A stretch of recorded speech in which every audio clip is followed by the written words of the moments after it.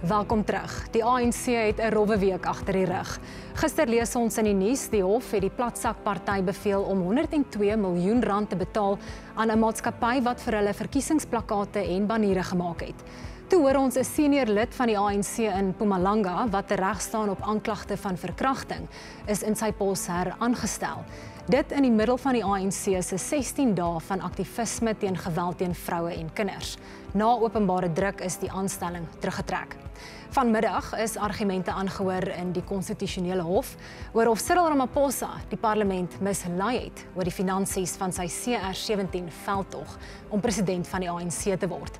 Dieselfde kwessie is ook een van die redes hoekom daar donderdag 'n mosie van wantroue teen die president in die parlement aangehoor gaan word. Baie om oor te gesels. Riana de Lange, senior sake verslaggewer by Rapport en Tim Du Plessis, kyk net so hoof van aktualiteit sluit by my aan. Tim, die mosie gaan tog nooit slaag nie, maar waarom sou die African Transformation Movement daardie party, waarom sal hulle die mosie gebring het? Wel Lorenzo, ek dink alles het te doen met uh die warboel wat binne in die ANC verkeer. Onthou ons 'n bietjie dink waar kom die ATM vandaan? Die ATM is net voor verlede jaar se verkiesing gestig en daar is fotos wat bestaan wat wys dat Ysma Gesule interaksie gehad het met hierdie mense terwyl hulle of net nadat hulle die party gestig het. Daar's ook onweerlegbare wyse dat hulle skakel met meneer Zuma uit en dat hulle moet by hom betrokke is. So dis mense met bande na hom toe. En hierso kry nou die eienaardige situasie dat Magashule het ook bande met ja soos ek gesê het en Zuma wat jy kan sê is die twee vroedmeesters van die ATM. Nou word daar 'n mosie van wantroue deur hierdie en dit is maar 'n ou flenterster party regtig waar ek meen ek dink hulle het maar 3 lede in die parlement of so iets. Nou kom hulle met 'n mosie van wantroue teen Magashule en teen Zuma se hoofleier want albei is nog lede van die ANC. Maar hulle het, jy weet, hulle het bande met hierdie party. Dis waar dit vandaan kom. Ek dink die eintlike interessante ding is wat gaan die ander partye doen rondom hierdie ding. 'n Bietjie moeiliker as vorige jare se. Ja, dis reg, ja.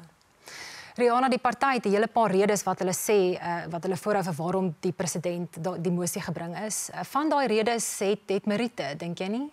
Kyk, die een ding is nou het nou te doen met die met die geld wat hulle sê hy het geldelike voordeel getrek uit die geld vir, wat uh, ingesamel is vir sy ANC presidentsverkiesing, maar dan sê hulle ook, jy weet, kom ons kyk na die president se uh, se rekord tot dusver. Onder hom um, gaan dit nie eintlik die land gaan agteruit. Jy weet dit gaan slegter al slegter met die ekonomie, die werkloosheid skiet op, die land se skuld.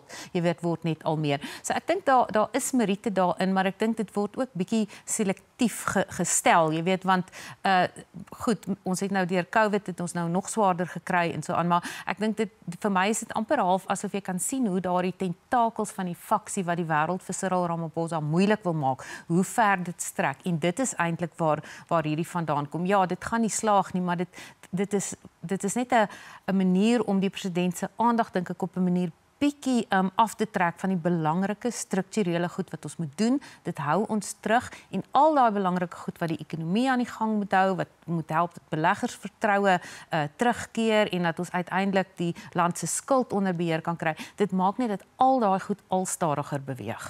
Tim, okay, kom ons beweeg na die konstitusionele hof, die verrigtinge vandag. Dit lyk of daardie CR17 veld tog nou maar net nie wil weggaan nie. Die openbare beskermer en die EFF hou vol dat die president die die parlement mislei het. Ja, ek meen dis eh, dis nou maar uh, hulle pogings, is hulle politiekery wat hulle daar want wat hulle wil doen, hulle wil vir meneer Ramaphosa in 'n verleentheid stel. Want dit klink nie asof hy die wet oortree het nie, as hy die wet oortree het as daar korrupsie was of geldwasery soos uh, Mqobani beweer. Dan sou die valke lankal al opgetree het as daar 'n prima facie geval was van geldwasery, dan sou hulle veral in die huidige toestand waar hulle nou is, waar hulle nie huiwer en bang is en terughou word om op te tree, nie sou hulle opgetree het. Maar dit kan hom in die verleentheid stel want hy is jy weet hy is ietwat vatbaar vir beweringe dat hy in die sak is van groot geld. En ek is nie seker nie, maar ek het iewers ter berigte gesien van daai goed het al so 'n bietjie uitgelek dat hy van sekere groot sake rolspelers groot geld gekry het. Nou, jy weet, is dit dis nie onwettig nie, maar is dit betaamlik? En beteken dit nie daar's dalk 'n bietjie waarheid in die argument dat hy in die sak is van groot politiek nie, maar dan dis hoe politiek oral in die westerse wêreld bedryf word. Dis nie anderster as hoe dit werk met hierdie groot mega skenkers wat vir Amerikaanse presidentskandidaate geld gee nie. Dis hoe politiek werk. Dis een van die goed wat verkeerd is met demokrasie en ware demokrate moet wonder hoe gaan ons daai soort van goed regstel. Maar hulle wil hom in 'n verleentheid stel. Op die oomblik is daai uh bankstate en goed van hom waar hierdie bewyse dan nou kwant sy sou lê is agter slot en grendel op by wyse van 'n hofbevel. En hulle wil hê dit moet tersyde gestel word hulle het Mkobani nie met toegang kry daartoe maar dit sal nie vir hom goed wees as daai goed uitkom Rihanna ons is nou in die 16 dae van aktivisme teen geweld teen vroue en kinders maar ons het ook die week nuusberigte gesien van uh, eh, ANC hoë in Mpumalanga wat reg staan op aanklagte van verkrachting. Hy is toe nou uh, heraangestel en toe het ons vandag gehoor daai aanstelling is teruggetrek. Hierdie heen en weer is nie goed vir die party nie.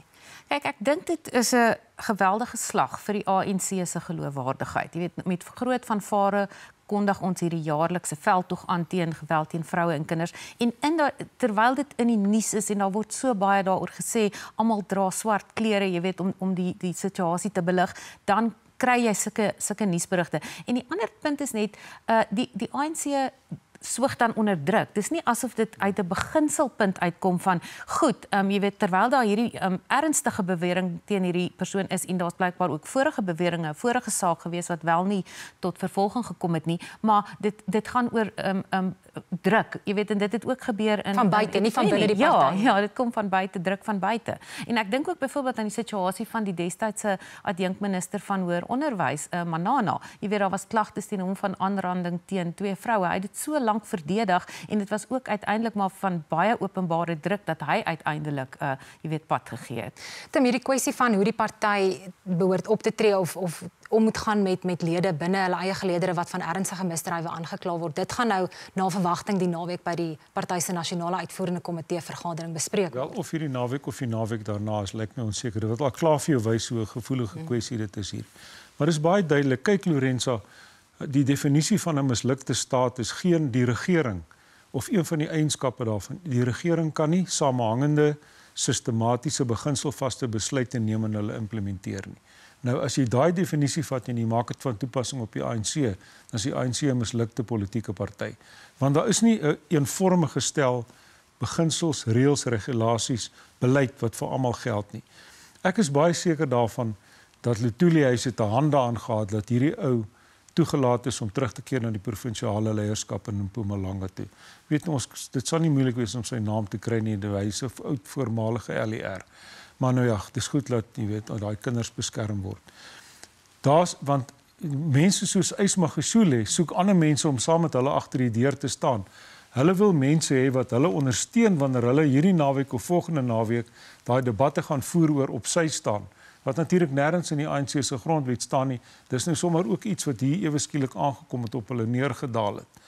Hy soek, hulle soek mense wat same Magashule gaan mense soek want Jesse Duarte het nou die besluit verwelkom dat hierdie ou nou jy weet dat sy sy sy opheffing nou weer sy skorsing nou weer van krag is. Sy was baie omgekrap toe sy sien hierdie oues terug. Sy is die adjunksekretaris-generaal. Sy was baie omgekrap toe sy gesien het hierdie perd is terug in die leierskap in Mpumalanga. Maar sy het niks gesê oor Ysmagashule nie. So wat sou nie verskil ernstige klagtes van bedrog, geldwasery en rampokkery teen Magashule, hierdie ou, jy weet, verkrachting teen hom. Dis dit is jy weet die een is nou so erg soos die ander een wil ek amper sê, maar as daar 'n klagte teen jou is, dan moet jy terugstaan. Dis hulle besluit maar hulle kan dit nie implementeer nie want dis 'n mislukte politieke party. Rihanna, hoe kyk beleggers na Suid-Afrika na die regerende party wat wat wat so besig is met hierdie binnengevegte? Kan so 'n party doeltreffend regeer?